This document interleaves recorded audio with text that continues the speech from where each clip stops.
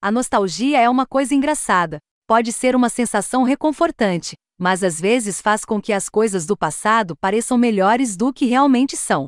Infelizmente, o último é o caso de Super Monkey Ball, Banana Mania, que compila mais de 300 níveis de jogos Super Monkey Ball anteriores e os atualiza para consoles modernos. Tenho boas lembranças de jogar as versões do GameCube com amigos há quase 20 anos. Então esperava que Banana Mania fosse um retorno bem-vindo àquelas noites despreocupadas de passar o toque de recolher e percorrer campos cada vez mais difíceis. Infelizmente, rolar não é tão divertido quanto costumava ser. Como o nome indica, Super Monkey Ball é uma série sobre macacos em bolas rolando por centenas de fases, evitando obstáculos cada vez mais difíceis, e sim, é exatamente tão bobo quanto parece. Os gráficos da era GameCube passaram por uma reformulação que torna o estilo da arte do desenho animado mais vibrante do que nunca, e eu achei difícil não bater a cabeça com o tema da música arcade. É sempre revigorante ver jogos que não se levam muito a sério nesta era de gráficos cada vez mais realistas e assuntos sérios. E Super Monkey Ball é tudo menos sério. Porque Banana Mania é uma mistura de vários jogos Super Monkey Ball anteriores, parece haver uma quantidade quase esmagadora de conteúdo no início.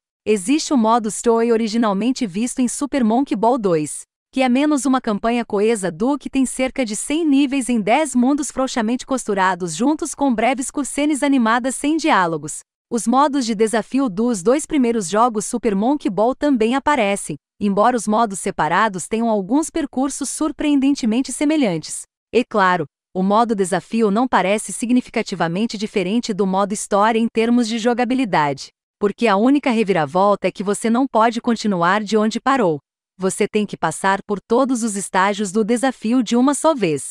Portanto, é mais um desafio de resistência do que qualquer outra coisa. O problema com os modos história e desafio é que, depois de 30 ou 40 níveis, os dois começam a parecer um trabalho árduo. A dificuldade no modo Story realmente aumenta em torno da metade do caminho, indo de leve e alegre a um frustrante exercício de fracasso muito rapidamente.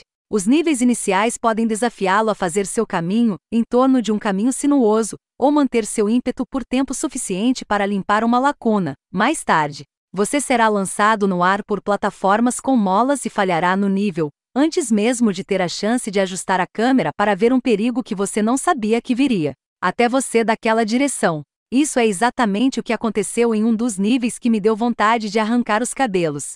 Diante de mim estava um passeio de parque temático imponente feito de plataformas conectadas a um poste no meio. Como você só pode inclinar a câmera até certo ponto, não consegui ver onde estava a linha de chegada, em vez disso, tive que rolar para uma plataforma no nível do solo, que jogou minha bola para cima, e tentei decifrá-la no ar. Na primeira vez, fui jogado diretamente em um poste de conexão e ricocheteou no mapa, antes mesmo de ter a chance de me mover. Outras tentativas terminaram depois que eu pousei em uma das plataformas mais altas e quiquei novamente. Quando finalmente consegui pousar no lugar certo e ficar parado, não parecia que havia dominado os obstáculos daquele nível em particular.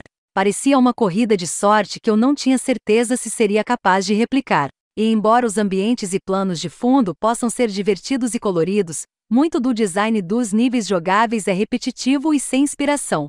Quanto mais eu jogava além de um certo ponto, mais parecia uma tarefa árdua. O que é especialmente desgastante é que depois de terminar um nível particularmente difícil, não há nenhuma descarga de adrenalina satisfatória que acompanhe a superação de um desafio, apenas uma sensação de alívio por finalmente ter acabado. O Super Monkey Ball poderia ter aprendido uma ou duas coisas com Peggle sobre como dispensar serotonina. É revelador que os desenvolvedores incluíram algumas maneiras de lidar com níveis particularmente difíceis. Existe um modo Helper que duplica o limite de tempo e fornece um caminho visual para o objetivo, o que pode ser útil, mas geralmente não nega os problemas maiores. Geralmente, não é uma questão de entender onde está o objetivo final. Chegar lá por tentativa e erro ou por pura sorte é o problema. Eu não posso te dizer quantas vezes eu simplesmente rolei cegamente para frente o mais rápido possível, esperando que isso me levasse mais perto do fim, porque todas as outras estratégias terminaram em fracasso. Também existe a opção de pular um estágio totalmente, o que é especialmente bom porque garante que você nunca ficará preso em um nível frustrante por muito tempo, assumindo que você não fique sem os pontos que precisa para pagar sua passagem. Você pode ganhar pontos de várias maneiras, mas as mais proeminentes são simplesmente superar níveis e completar certos desafios, como coletar todas as bananas em uma fase. A Point Shop é onde você os usará para desbloquear novos personagens, adicionando à lista inicial de seis personagens de Aya e seu zoológico de macacos.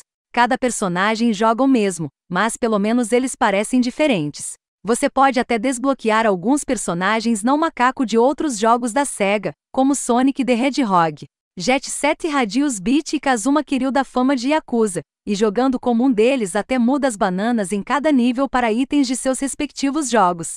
Anéis para Sonic, latas de tinta spray para Beat. É um toque atencioso, embora o outro lado seja que esses personagens especiais não podem ser personalizados com novas roupas como os macacos podem. Olhando para trás, para minha experiência pessoal, os jogos Super Monkey Ball sempre estiveram no seu melhor como jogos de festa, e esse continua sendo o caso com Banana Mania. O modo Party tem uma dúzia de mini-jogos, e a maioria deles são genuinamente divertidos e têm uma profundidade surpreendente quando jogados contra outros humanos.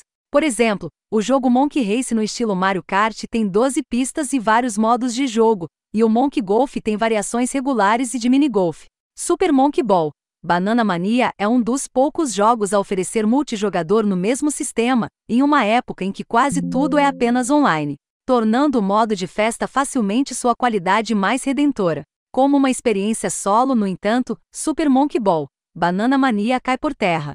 Mais de uma vez, me perguntei por que havia gostado tanto desses jogos quando eles foram lançados. Jogando no PS5, até ativei os controles de movimento para tentar replicar a magia do antigo jogo para o Super Monkey Ball, Banana Blitz, mas isso foi um desastre completo. A inclinação mais simples do controlador DualSense tinha estágios inclinados para a esquerda ou direita, fazendo minhas bolas de macaco voar. É uma pena que Banana Mania não tenha vivido à altura da experiência Super Monkey Ball em minhas memórias, mas os tempos mudaram. Talvez seja a hora dessa série tocar em um estranho obelisco preto e evoluir também. Com mais de 300 fases compiladas e atualizadas de jogos anteriores da série, Super Monkey Ball, Banana Mania tem muito o que fazer.